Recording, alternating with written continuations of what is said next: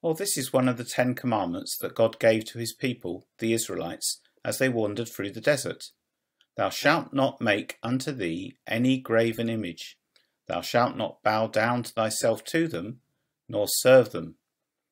That is, they should not make images or statues of other gods, or even of him. Well, we probably don't have statues and images which we worship, but there are many other things which can take over our hearts if we're not careful. We'll think about some of them in the lesson today. Let's read this together. Thou shalt not make unto thee any graven image. Thou shalt not bow down thyself to them, nor serve them. Exodus chapter 20, verses 4 and 5. Thou shalt not make unto thee any graven image. Thou shalt not bow down thyself to them, nor serve them. Exodus chapter 20, verses 4 and 5.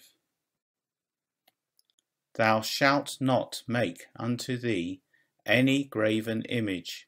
Thou shalt not bow down thyself to them, nor serve them.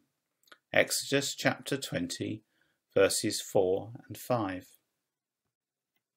Thou shalt not make unto thee any graven image. Thou shalt not bow down thyself to them, nor serve them. Exodus chapter 20, verses 4 and 5. Thou shalt not make unto thee any graven image. Thou shalt not bow down thyself to them, nor serve them. Exodus chapter 20, verses 4 and 5. Thou shalt not make unto thee any graven image. Thou shalt not bow down thyself to them, nor serve them. Exodus chapter 20, verses 4 and 5. Thou shalt not make unto thee any graven image. Thou shalt not bow down thyself to them, nor serve them. Exodus chapter 20, verses 4 and 5. Thou shalt not make unto thee any graven image. Thou shalt not bow down thyself to them, nor serve them. Exodus chapter 20, verses 4 and 5. Well, let's see if you can do this yourself. Thou